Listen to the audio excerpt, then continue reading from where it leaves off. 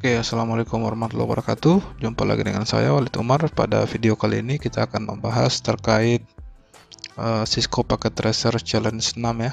Sudah bagian 6. Pada topologi kali ini kita membahas terkait uh, protokol routing dynamic EIGRP ya atau Exchange Interior Gateway Routing Protocol. Protokol ini menerapkan konsep uh, autonomous system number di mana untuk melakukan konfigurasi uh, konfigurasi routing dinamiknya kita diharuskan untuk melakukan pengesetan uh, eh, ASN ya atau AS number dan selanjutnya kita diminta untuk melakukan konfigurasi network dan melakukan konfigurasi uh, wildcard ya.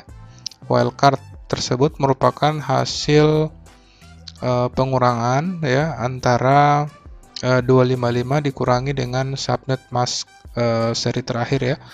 Jadi 255 255 255 255 dikurang dengan 255 255 255 224. Jadi hasilnya kalau kita menggunakan slash 27 itu hasilnya adalah wildcardnya adalah 31. Ketika kita menggunakan slash 30 maka dikurangi antara 255 dikurangi dengan 252 jadi hasilnya 3 ya. Oke, uh, protokol routing EGRP sendiri menerapkan konsep uh, atau merupakan protokol yang hanya berjalan pada uh, perangkat router uh, Cisco ya. Jadi hanya bisa diterapkan antara perangkat Cisco dengan perangkat Cisco yang lain ya. Jadi tidak bisa multi platform. Oke, untuk itu kita langsung saja mulai proses konfigurasinya. Kita mulai dari router uh, yang paling atas ya. Oke, di sini sudah kita sudah masuk di router Paguyaman. Kita setting hostname-nya. Oke. Setelah kita host setting hostname-nya, kita setting untuk interface FA0/0-nya. IP address-nya 20.30. Subnet mask-nya uh, 224 ya. Kita no shutdown untuk mengaktifkan interface. Setelah itu kita setting untuk S0/1, kita setting IP address-nya 10.1.1.6 255.255.255.252 kita no shutdown ya. Oke ini uh, interface-nya masih down karena kita perlu melakukan konfigurasi lagi pada router lawannya ya. Oke sama halnya dengan S0/2 juga kita setting IP address-nya 10.1.1.17 kita setting subnet mask-nya titik 252 kita no shutdown Oke, jika sudah kita konfigurasi, kita akan lanjutkan konfigurasi uh, eh, IP address pada router Tilamuta ya. Router Tilamuta kita setting. Oke, kita setting hostname-nya Oke, setelah itu kita setting untuk interface S0/1 IP address-nya adalah 10.1.1.5 ya karena menggunakan segmen IP address yang kedua ya. Network yang keduanya itu 4. Host pertamanya 5, host last hostnya itu adalah uh, eh, 6 ya. No shutdown. Oke, di sini sudah hijau ya. Kita setting lagi untuk interface S0/2 menggunakan IP address subnet yang ke 48 uh, yang ketiga ya. Yang ketiga 10 11 13 subnet masknya 252 kita no shutdown Oke, kita setting FA0/0 IP address 16.30 224 ya.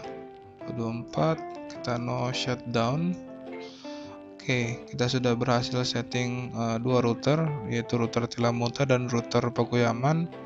Total yang akan kita konfigurasi uh, secara keseluruhan itu adalah tiga perangkat router ya. Kita akan coba koneksikan juga dulu Pi kita config ya. Oke untuk Lupi sendiri kita setting hostname nya Lupi interface FA0 slash 0 IP address 22.30 224 ya no shutdown. Interface S0 slash 2 kita setting IP addressnya 10.11.14 255 252 no shutdown. Interface S0 slash 3 kita setting 10.1.1.10 oke. Oke sudah selesai kita konfigurasi ya. Selanjutnya kita akan konfigurasi router uh, Botomo itu ya. Dia menggunakan beberapa interface ya di sini ya. kita bisa lihat di sini ada empat interface Oke, kita coba setting. Oke, kita setting uh, hostname-nya.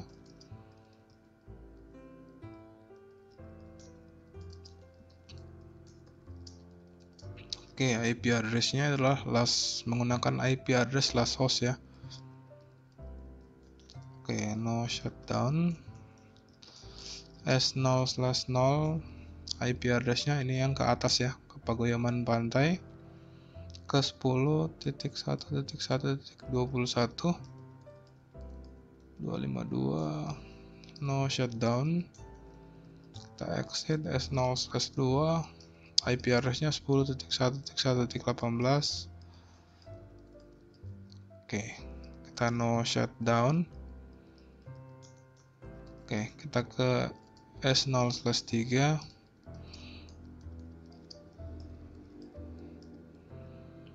Oke, kita no shutdown.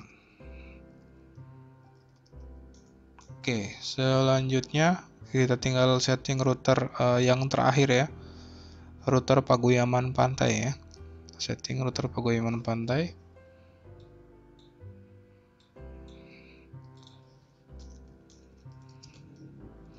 Kita setting hostname-nya Paguyaman Pantai.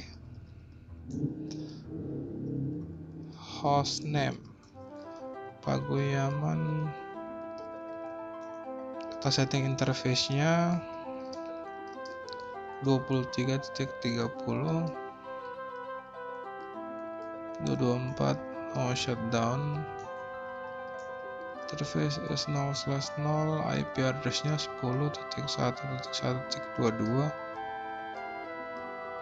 252 kita no shutdown ya. Oke sudah seluruh interface pada topologi kita sudah menyala ya. Kita pastikan bisa saling ping ya antara perangkat. Oke bisa ping. Oke sukses ya oke sukses oke seluruh komunikasi berjalan dengan baik Oke, sukses. Kita coba ping satu kali lagi. Oke, sukses ya. Oke, seluruh konfigurasi pada network klubnya sudah jalan dengan baik. Kita coba koneksikan antara network yang berbeda itu violet ya. Jadi kita akan melakukan proses konfigurasi routing ya dengan menggunakan as number 100. Kita mulai dari router paling atas, router Pagoyaman ya router EIGRP 100 kita setting networknya 20.0.00031 kita setting 10.1.1.4 000.3 no auto oke jangan lupa 10.1.1.16 0003 no auto sumeri Oke, kita pindah ke router uh, Tilamuta ya. Oke. Ke kita router EGRP 100 networknya 10.114.00.03 Oke, sudah adjunksi. Ini adalah signal yang didapatkan ketika uh, kedua interface pada router yang saling neighbor itu saling ter uh, saling terhubung ya. Sini neighbor dari router ini adalah 10116 ya, itu benar. Uh, up dan sudah sudah melakukan proses synchronize ya. Kita masukkan lagi untuk 10.1.1.12 dan 16.0 00031 kita no auto summary. Oke sudah selesai. Kita selanjutnya kita setting untuk uh, router dulu P ya. Oke. Router EGRP 100 networknya 10 1112 0003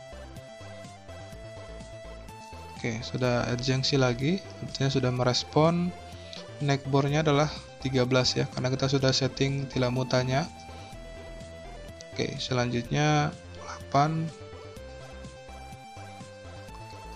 dan selanjutnya adalah 22.0000031 no auto summary enter. Oke poin kita sudah 84% kita belum selesai melakukan konfigurasi. Kita lanjut ke router Botumo itu. Kita exit router IGRP 100 kita masukkan networknya. Oke 10.111.16 oke sudah adjunksi juga. 92.168.28.0 00031 Oke, net 10 11 detik 20 no auto summary. Oke, selanjutnya tinggal router Paguyaman ya. Oke, kita router IGRP 100 networknya 23.00031 net 10 1120 0003 kita setting no auto summary oke dan kita sudah mencapai poin maksimal ya.